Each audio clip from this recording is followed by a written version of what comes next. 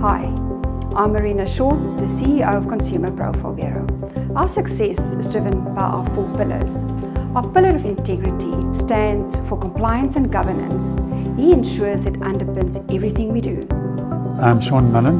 I'm the Chief Financial Officer for Consumer Profile Bureau. What do I stand for? Well, I build those around me. If they succeed, I succeed. What keeps me busy and out of trouble? I'm a man of faith, and my faith keeps me grounded and gives me perspective. I also enjoy mountain biking and I enjoy going into the bush to see game and bird life.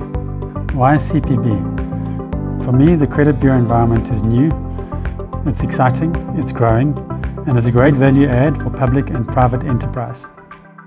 I'm making a difference in CPB by ensuring that the company is financially stable and that it is compliant with legislation and governance requirements within the South African business environment.